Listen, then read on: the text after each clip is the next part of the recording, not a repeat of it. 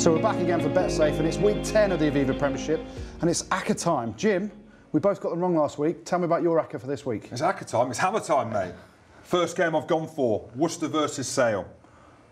Worcester are going to win this. Do you think? Mate, how good they've been. They Very. beat Leicester at the weekend. They smashed Leicester. Their defence. Francois Hougaard's come back into it. Is it Francois?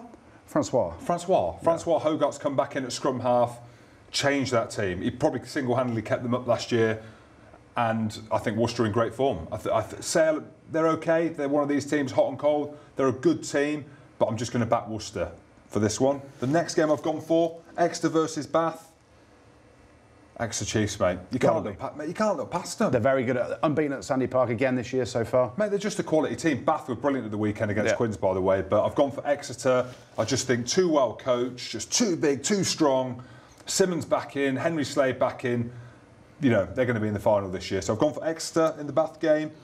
The Gloucester versus London Irish match. Mate, how good have Gloucester been? Well, they've done well. They beat Newcastle away at the weekend. Couldn't believe it. That's what Neither did, us- mate. neither of us No, we didn't. did we? That's what we did. But this one we should be able to bat. And this is where we'll know really with Gloucester against London Irish. Notoriously, Gloucester have struggled against the lesser teams. Yep.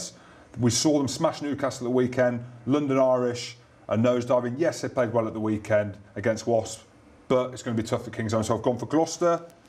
And then we spoke about it in the featured match. As always, I've gone for Saracens to beat Quins. Just because I'm from Saracens and I don't like Quins. You don't, do you? I hate them. No, I just don't like them. Yeah. They don't like me. They don't either. No, you're dead right. Yeah, so just a recap of who I've gone for then. I've gone Worcester to beat Sale, Exeter to beat Bath, Gloucester, or Glaws, to beat Irish, and the mighty Saracens to beat Quins. There we go. Who you gone for? Well, my ACCA, I'm going for some really interesting ones. I'm going to start off with Northampton against Newcastle. Northampton and Newcastle, both teams lost their last four games in the Premiership. That's why I didn't know how you're going to call this. Well, I'm just going on home form. I'm going on Northampton have to eventually win at home. Although Newcastle beat them in this game last season at Franklin's Gardens, Northampton are getting Courtney Lawes back in the team, Piers Francis as well, Dylan Hartley, I'm sure he'll come back in the team. So they're getting some international quality to come back off a decent autumn internationals. Finally, they've got to run into some form, and um, I think Piers Francis is the key guy in the backs. I'm going for a Northampton Saints victory over one of my old clubs, Newcastle. And then we're going to move on. I agree with you. Exeter against Bath, Exeter, Sandy Park. It's not even worth talking about. They're going to win that hands down. Bath are a good team. Freddie Burns playing well at 10. Rhys Priestland comes back into the mix. Toby Faletau as well. But Exeter at Sandy Park, they're just invincible. So Toby Faletau back for Bath. he's going to go Oh, back I for might Bath. change my mind. Yeah, but no. Exeter invincible at home. Uh, then we're going to go. I agree with you. Gloucester against London Irish. London Irish on the road have been poor this year, uh, taking some hammerings uh, away at Saracens, uh, up at Sale as well. But Gloucester back in some tip-top form, an away victory and a bonus point victory up at Kingston Park at the weekend. Really good result for them. Uh, Gloucester will carry on their good form. They beat Saracens two weeks ago as well. Their so defence, a good team. is outstanding. The Johan Ackermann effect, they're It is. calling it.